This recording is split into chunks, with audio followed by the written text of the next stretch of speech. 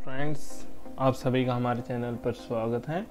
आज हम देखेंगे कि सेंट्रल यूनिवर्सिटी के कॉमन एंट्रेंस टेस्ट का फॉर्म कैसे फिलअप करेंगे। तो हम central university common entrance test की वेबसाइट पर आ चुके हैं। तो हमें नीचे की तरफ़ स्क्रॉल करना है, यहाँ पर आते ही तो इधर लिखा हुआ है, रजिस्ट्रेशन फॉर सेंट्रल यूनिवर्सिटी 2021 इस पर जैसे क्लिक करोगे तो इधर आपका न्यू रजिस्ट्रेशन और साइन इन का आ जाएगा। तो सबसे पहले रजिस्ट्रेशन करना है तो रजिस्ट्रेशन के लिए इधर जाएँगे तो इधर इसमें आपको सभी की फ़ीस और एग्ज़ाम्स के बारे में बता रखा है कि एग्ज़ाम फ़ीस इतनी है।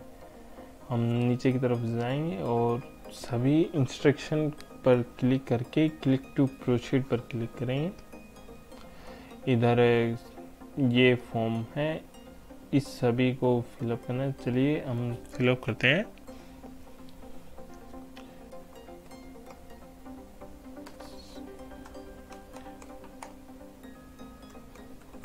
अभिषेक गुप्ता। इसमें अपना नाम, इसमें पापा का नाम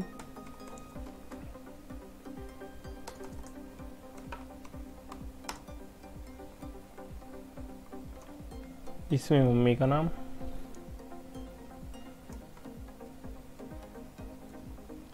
इसमें अपना डेट ऑफ़ बर्थ भरना है।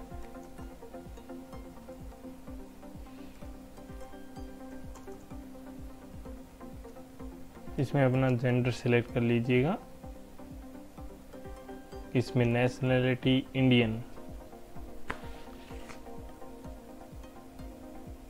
ये इसमें आईडी टाइप इसमें Aadhaar card election card passport ration card bank passbook और कोई भी जो आपकी पहचान बताता हो गवर्नमेंट इशू कोई भी आईडी तो इसमें मैं आधार कार्ड सिलेक्ट करता हूँ।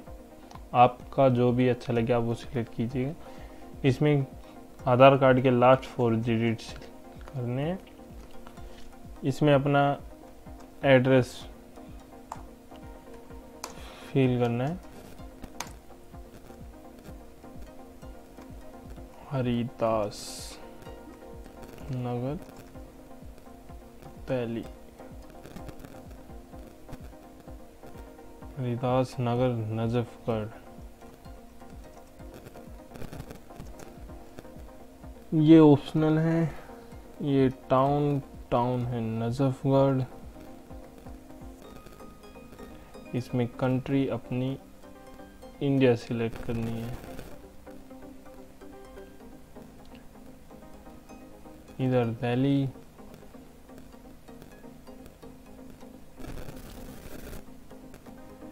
इसमें डिस्ट्रिक्ट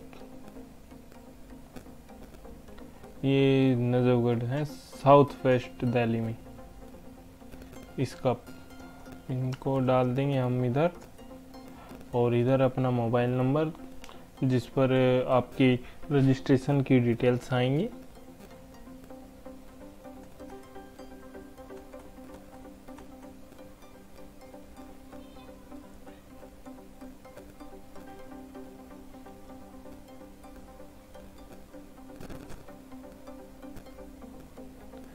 और इसमें अपना ईमेल एड्रेस, जो भी आपका ईमेल एड्रेस है, वो डाल सकते हैं।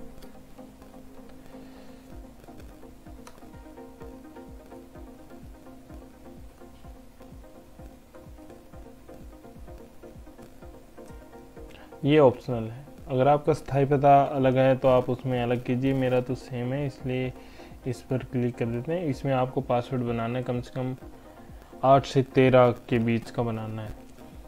तो इसमें बनाते हैं।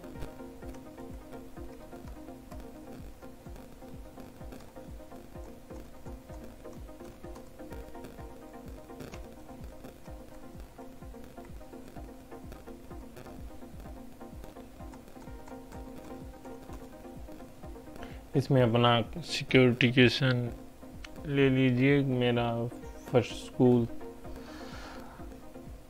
है टूल ये आपको सिक्योरिटी पिन फिल करना है।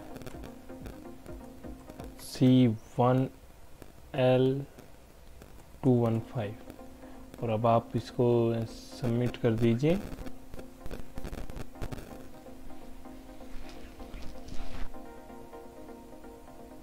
ये फिर आपको बता रहा है please review the following information carefully यानी कि हमें अपना ये फॉर्म एक बार देख लेना है, अगर रजिस्ट्रेशन में कोई मिस्टेक है तो वो दोबारा चेंज हो सकती है।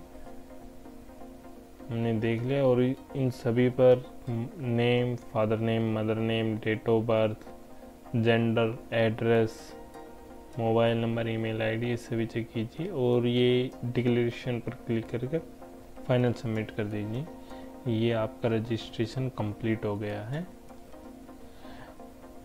और ये अपना रजिस्ट्रेशन कंप्लीट ये अपना रजिस्ट्रेशन अप्लीकेशन नंबर आ गया है, ये वाला।